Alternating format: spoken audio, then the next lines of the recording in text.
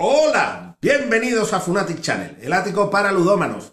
En esta ocasión os traemos explicación y reseña de un juego que para nosotros es de los mejores para iniciarse no solo en el mundo lúdico en general, sino también en el de la colocación de trabajadores en particular, o para cuando jugadores avezados quieren jugar algo más ligero sin entrar en profundidades o densidades como en los pilares de la tierra, o un caverna, o un agrícola, para aquellos que aún juegan al agrícola existiendo el caverna.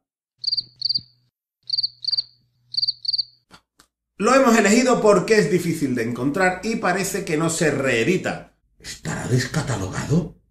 No. Si miramos el catálogo para este 2014 de la editorial, podemos encontrarlo entre otros grandes juegos, pero nosotros hemos tenido que buscarnos una copia de segunda mano.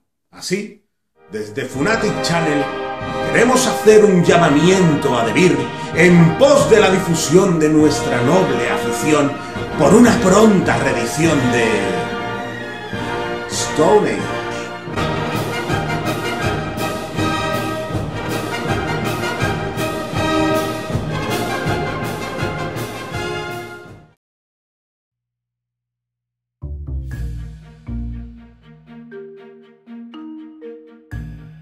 Colocamos el tablero principal en el centro de la mesa. A cada jugador se le entrega un tablero individual, 12 unidades de comida, 10 meeples del color que haya elegido, de los cuales 5 estarán hábiles desde el principio sobre su tablero individual y los otros 5 en una reserva al lado.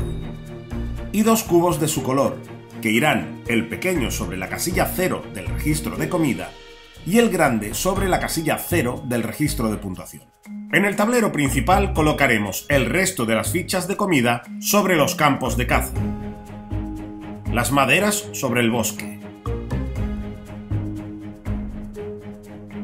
los ladrillos sobre el pozo de arcilla, la piedra sobre la cantera. Y el oro en el río. También pondremos las fichas de herramientas en las casillas junto al fabricante de herramientas, de manera que en un montón estén todas las caras 1 hacia arriba y en el otro todas las caras 3.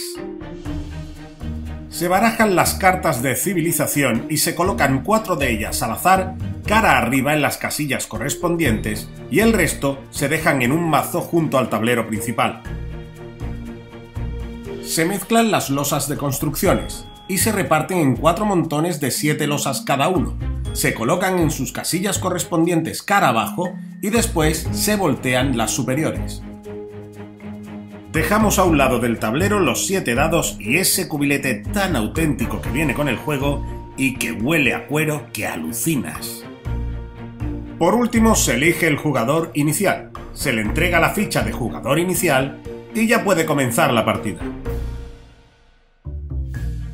Las rondas de juego se componen de tres fases. Colocación de personas, resolución de las personas colocadas y alimentar a la tribu.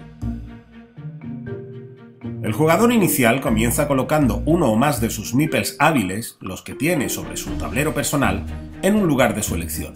La cantidad de anillos que haya en ese lugar indica el máximo de personas que puede haber allí. Después, el jugador a su izquierda hace lo mismo, y después el tercer y cuarto jugador. Es obligatorio colocar al menos un meeple sobre el tablero cada vez que nos toque poner. Cuando el turno vuelva al jugador inicial, colocará uno o más de sus meeples hábiles si le quedan, después el segundo jugador, tercero y cuarto, y se completan tantos turnos como sea necesario hasta que a ningún jugador le queden meeples hábiles. Vale, vale, le damos caña y para amenizar, un chiste. Un niño troglodita le entrega las notas a su padre y este le dice, hijo, que suspendas pintura rupestre tiene un pase porque no se te da bien el arte, pero que suspendas historia que llevamos dos páginas.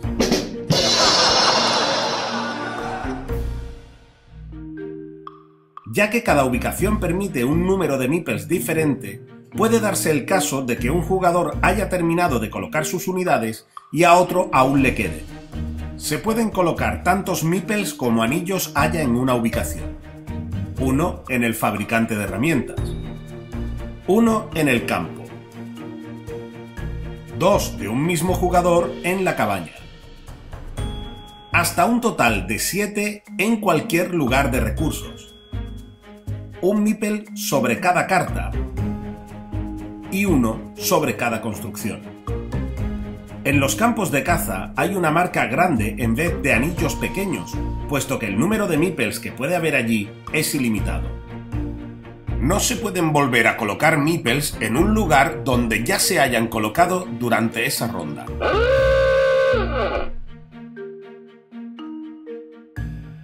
Cuando todos los jugadores hayan colocado todos sus meeples en el tablero, comienza la segunda fase de la ronda. El jugador inicial realiza todas las acciones propias del lugar donde colocó sus meeples antes de pasar al siguiente jugador. A medida que las resuelva, irá devolviendo los meeples correspondientes a su tablero individual. Puede resolver estas acciones en el orden que quiera. Esto es importante estratégicamente para optimizar el rendimiento. Las acciones propias de cada lugar son Fabricante de herramientas. El jugador retira su MIPEL y toma una herramienta. Mientras tenga casillas libres a tal efecto en su tablero individual, debe tomarla de nivel 1 y ocupar una de esas casillas. Cuando al conseguir más herramientas, las tres casillas tengan nivel 1, debe voltear las que hay para que muestren nivel 2 después cambiarlas por fichas de nivel 3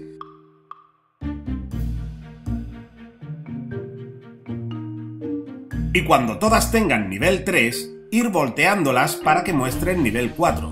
Cada una de estas herramientas se puede utilizar una única vez por ronda para aumentar una tirada de dados con el valor que marque el nivel de dicha herramienta. Campo de cultivo. El jugador devuelve su MIPEL a su tablero individual y sube una casilla el cubo de su color en el registro de comida. Este avance serán unidades de comida permanentes a la hora de alimentar a la tribu. Cabaña. El jugador recibe un Mipel de su reserva y lo pasa a su tablero individual como Mipel hábil. Dicho jugador tendrá un Mipel adicional para las rondas posteriores. Acaba de nacer un nuevo miembro en la tribu. Por eso la llaman la choza del amor.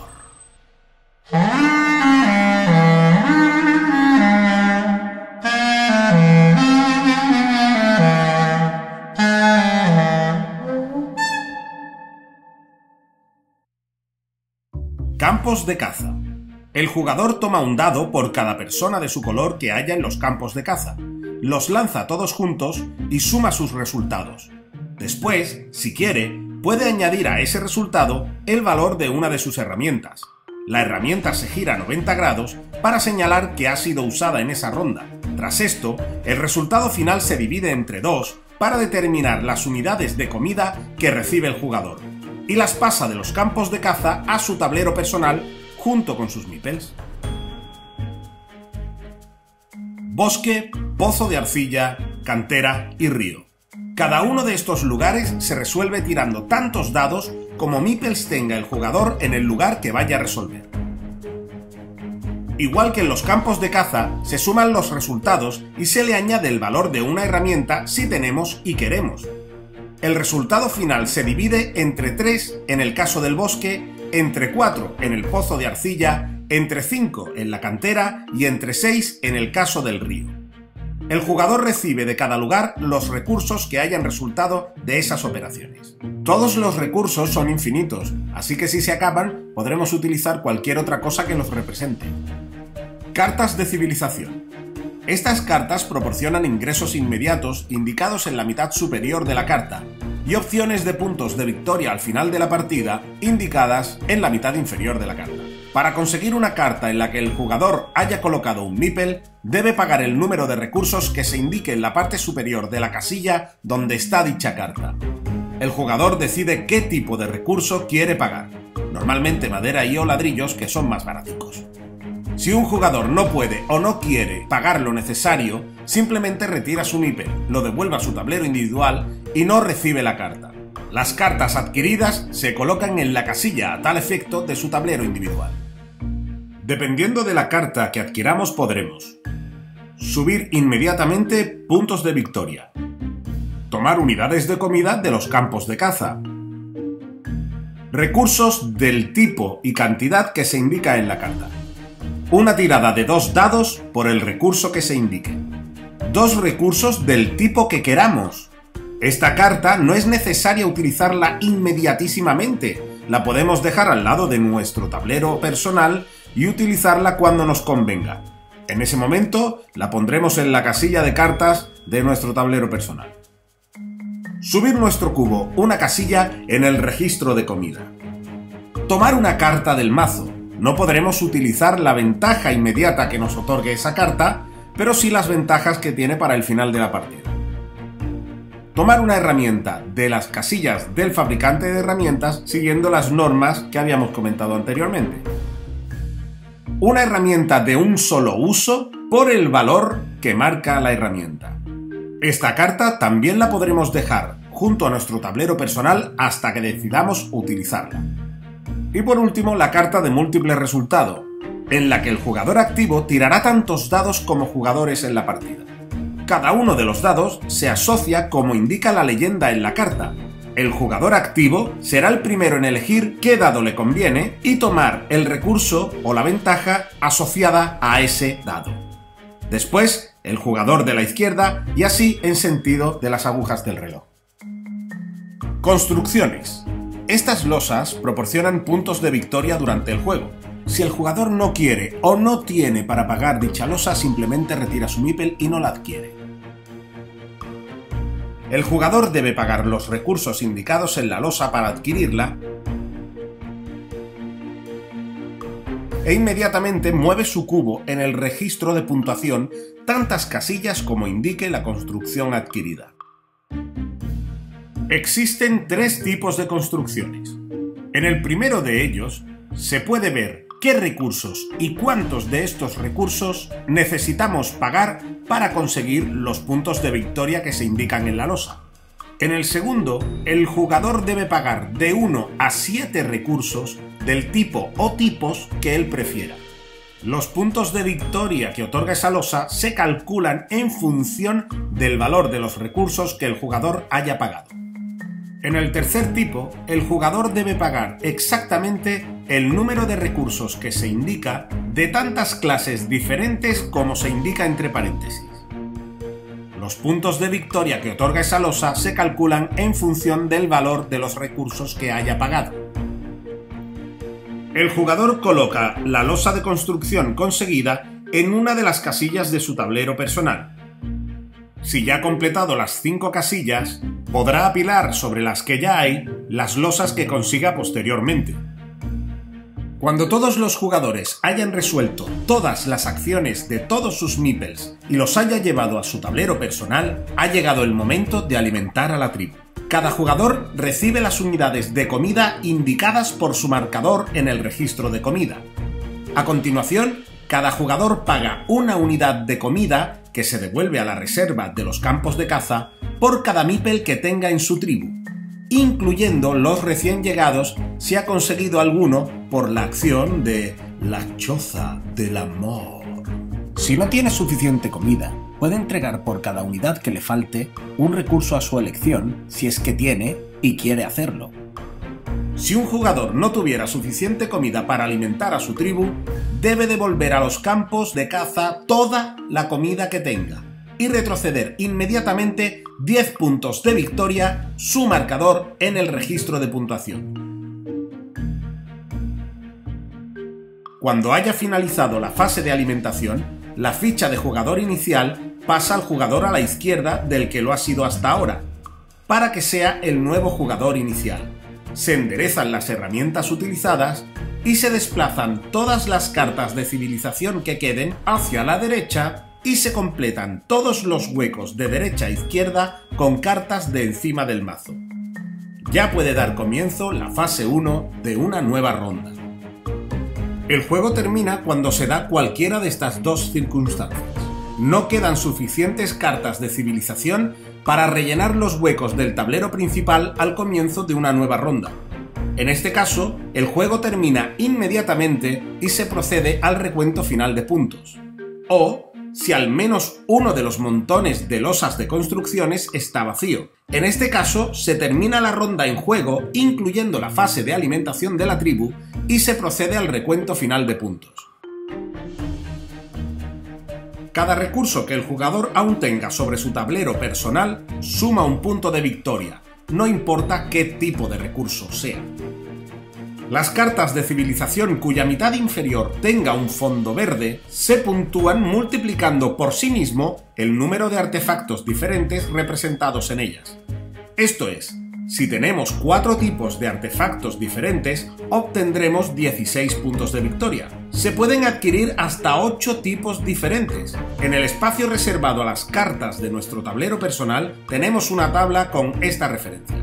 Las cartas de civilización cuya mitad inferior tengan el fondo arena se puntúan multiplicando el número de individuos de cada tipo que tengamos en todas las cartas por el valor que hayamos conseguido relativo al icono que tienen al lado. Esto es, si tenemos un total de 5 granjeros en nuestras cartas, los multiplicaremos por el nivel que hayamos alcanzado en el registro de comida. Lo mismo con los fabricantes de herramientas y la suma del nivel de herramientas que hayamos alcanzado el número de constructores por el número de construcciones que hayamos conseguido y el número de brujos por la cantidad de meeples hábiles que tengamos. El jugador con más puntos de victoria será el ganador. En caso de empate, el jugador con más comida sobre su tablero personal gana. Si el empate persiste, el que tenga mayor valor total en herramientas. Y si aún así sigue el empate, el que tenga más personitas en su tribu. Y si el empate persiste, pues echa otra partida. ¿Qué queréis que os diga?